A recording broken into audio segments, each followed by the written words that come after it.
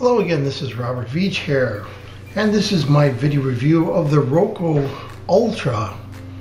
This is the HDR compatible, 4K compatible, HD compatible streaming media player. The HDR is the contrast control. If you do a search on that, you'll see that's a new standard for contrast control.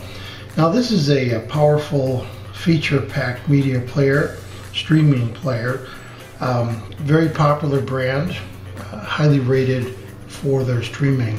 It includes a JBL set of headphones that connects to the remote so that you could privately listen at night and not bother other family members. Now there's an HDMI 4K port on the back we're going to show.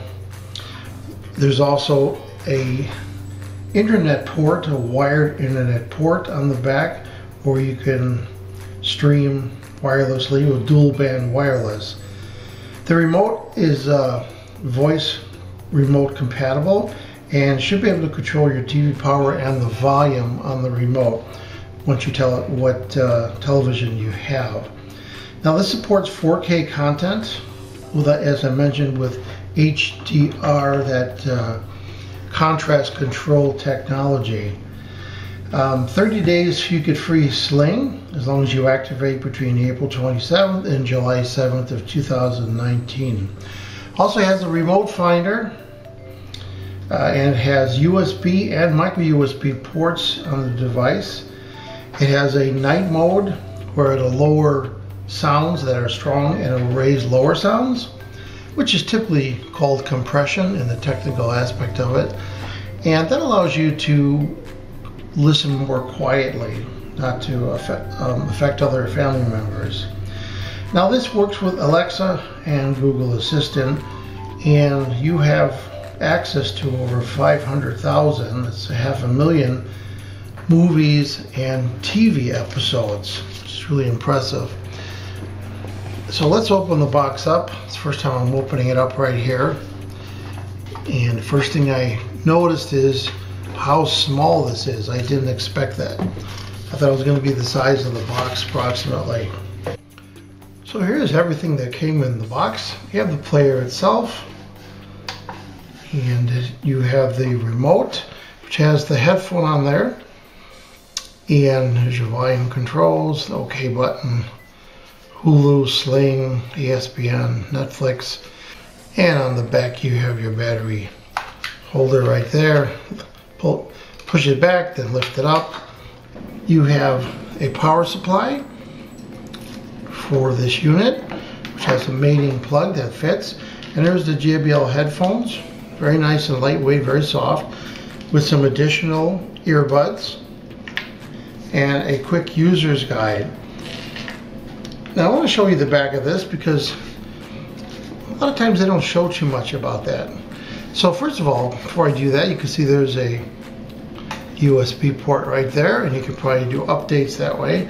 But if you look at the back, you have your, your internet wired port right there, and then you have your HDMI, and it'll support the 4K, and there's your uh, USB, I'm sorry, your little uh, micro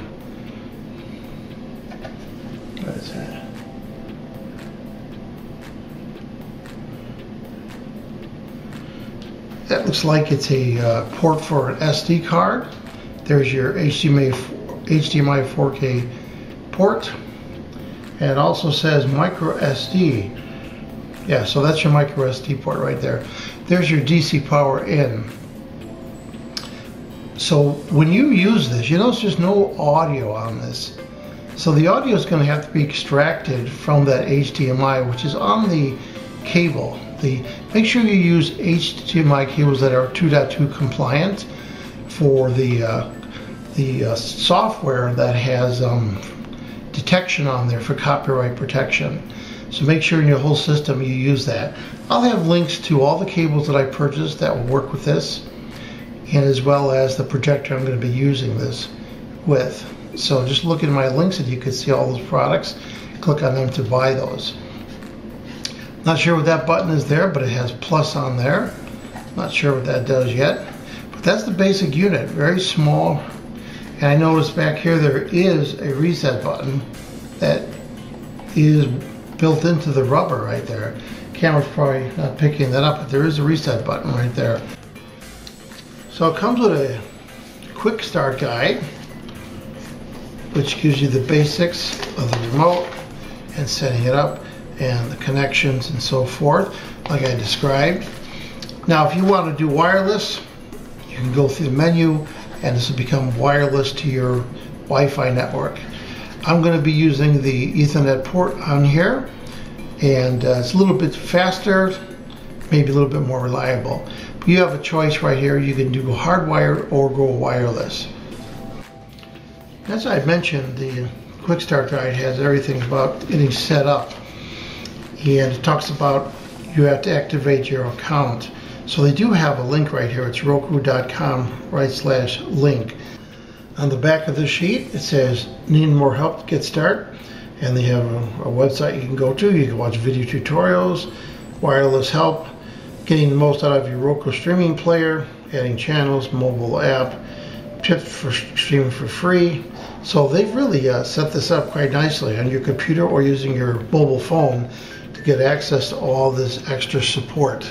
This player is highly rated for a very good reason. The software works really well and the simplicity of the interface is what's really important. I like the included headphones. I'm not sure I'm going to use that in a movie theater because I'm always going to be blasting the sounds in my speaker. I'll, always, I'll also have the links not only to the projector I'm going to be using, also to the 4K amplifier. And that's something I want to go into that's never explained anywhere. The audio I mentioned comes out of this port right here. So if you're going to a television and you're willing to use the audio on a television, you'll be able to get audio out of this port. If you want better sound, you're going to have to take the optical port out of your TV and get one of the little converters that'll convert it to uh, 2.0, you know, two channel sound, or if you want to have surround sound, you'd have to go to a surround sound amplifier, an old analog one. What I'd recommend is what I did, and if you're going to have multiple devices like this plus a PS4 or anything else, a, uh, Blu-ray, a Blu-ray player or a Comcast box, you're going to have to switch these signals. Now this is no longer a simple thing because this is 18 gigabits per second. This is a very high speed signal. So to effectively do that, you can buy some aftermarket products. They're not that good. The best bet is to buy a 4K amplifier that is going to switch multiple signals. Now if you just go into one TV, you're all fine. But if you're going to be switching multiple devices like this, plus a Blu-ray player like I mentioned, or some kind of a game console, you're going to need to be able to switch that. Unless you have to stand up and change the cables. So not only are you going to need the 4K compliant cables, which I have a link for, but you're going to need a way to switch that. So that would be a 4K amplifier if you want to have a good surround sound in your house. If you're happy with the television speakers, you can go directly into your TV with that. Just wanted to point that out because that's never explained anywhere. I've been searching for that for a month and did not find that information anywhere. So, so what do I think about this player? Well, I tested it, I used it, it works really well. I've had Roku players before. I've had this model before, the previous model that didn't have the headphones. This is a great player. I think you're really gonna like it. You can see by the reviews how well it does. So I'm gonna give this product a full five-star rating on my channel. Please remember to hit the subscribe button and the bell icon so you're alerted to new video uploads. And if you like this review, please hit the like button. I hope the information I presented helps you with your buying decisions. Thank you for watching.